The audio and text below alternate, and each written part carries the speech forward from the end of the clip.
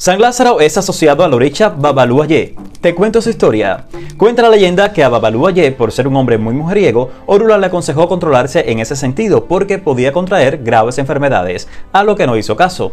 Un día se encontró con una mujer irresistible, fue a divertirse y al despertar al otro día, su cuerpo estaba cubierto de llagas malignas. Los mayores del pueblo, al ver su estado, le cosieron la lengua con 12 dilogún y lo expulsaron del lugar. Su hermano Shango lo llevó a Antorula, quien después de regañarlo por su desobediencia le aconsejó a Shango que buscara a Osain para que le preparara un remedio con hierbas que sería la cura de la enfermedad. Babaluaye debía limpiarse con ellas, enterrar el Ebbo e ir a un pueblo donde lo proclamarían rey. Ogun le regaló dos perros para que lo acompañaran en el viaje. Cumpliendo al pie de la letra lo orientado por Orula, Babalu fue a buscar el lugar que le había descrito este. Al enterrar el esbo, comenzó a llover torrencialmente y las llagas que le aquejaban desaparecieron.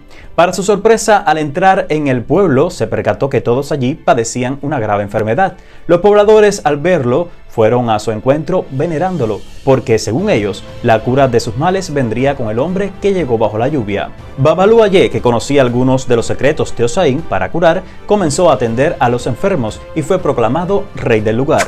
¿Cuál de las dos historias conocías? ¿La del video anterior o esta? Sígueme para más.